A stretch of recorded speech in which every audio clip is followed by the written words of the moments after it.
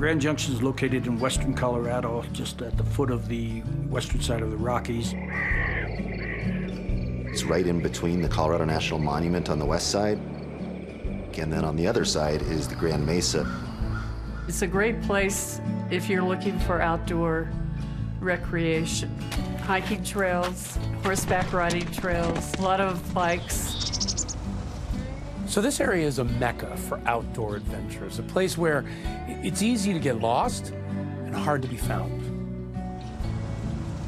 People are very friendly, everybody knows each other. Grand Junction, Colorado really has that small town feel where the community comes together in a crisis. And it's here that in the summer of 2007, I came to report on a story about a young 34-year-old mom named Paige Birgfeld. She had simply vanished. Frank, how would you describe your daughter? I think the word is effervescent.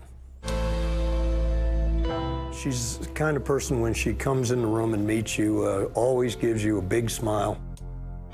She is special, devoted, very patient, very much everyone's friend and reaching out to help everyone, and just very loving. I'm Barbara. I was one of Paige's close friends. Paige is very much a soccer mom. she um, had three kids. Paige was the most kind of outgoing, independent, stubborn at times, um, just great sister and, and terrific mom.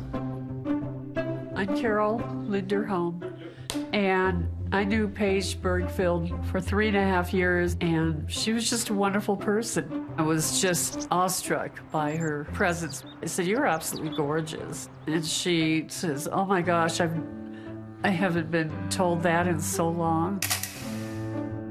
She always is the kind of person that I think when you stand in front of her, you would feel that she thinks it's very special that you're here.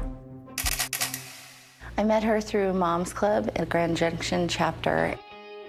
I had heard a lot about her from the other members, and I hadn't met her yet, and so it was kind of like, oh, I get to meet the exciting Paige, and she, she's just as, you know, was just as wonderful as everybody said.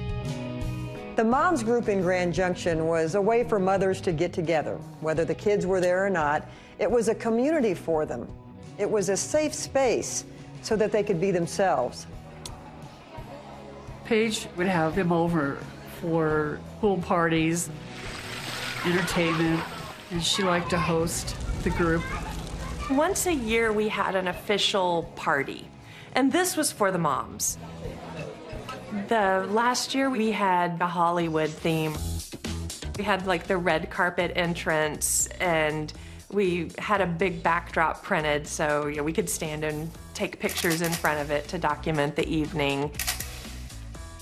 There's actually home video that was taken of that mom's party, and Paige appears to be the star of the show. We're usually in our flip-flops and shorts, and that night we were all in party wear. She just lit up the room. Very dressed up, very classy. She just exuded that personality that attracted people to her.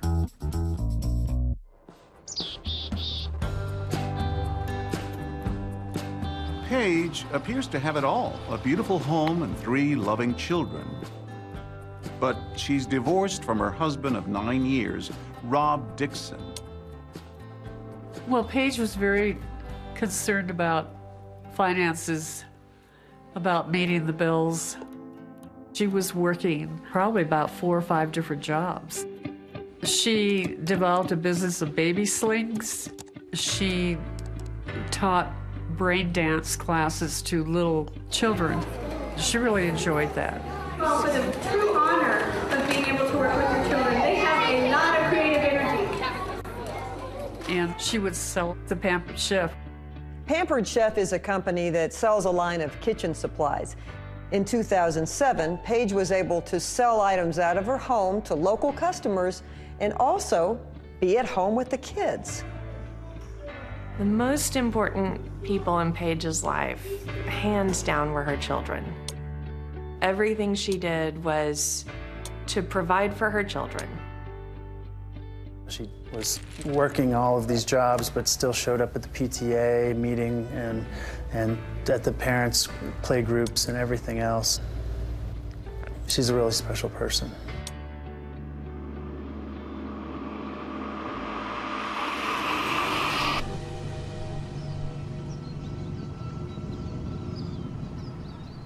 On the morning of June 28th, Paige leaves the kids with her live in nanny and promises her children that she would be back later that evening. I tried to get in touch with Paige, and she didn't return my phone calls, which I thought was rather odd. Hi, it's Carol. Um, you can give me a call. Um, I'm at the house. Anyway, I'll talk to you later. Bye bye. I thought she was just really busy, and I would hear from her later. But as the day turns into night, Paige not only doesn't come home, she wasn't even in touch. And this was completely out of character for her. Hi, Mom, it's me. I was just wondering when you get home, please answer the phone. Paige wouldn't be bad on her word. If she said she was coming home, she was coming home. Hi, Mom. I was just wondering when you were gonna get home. Bye. End of message. I started to have a very sinking feeling that something just wasn't right. You said would be back when we're dark and you haven't even been back. Please come back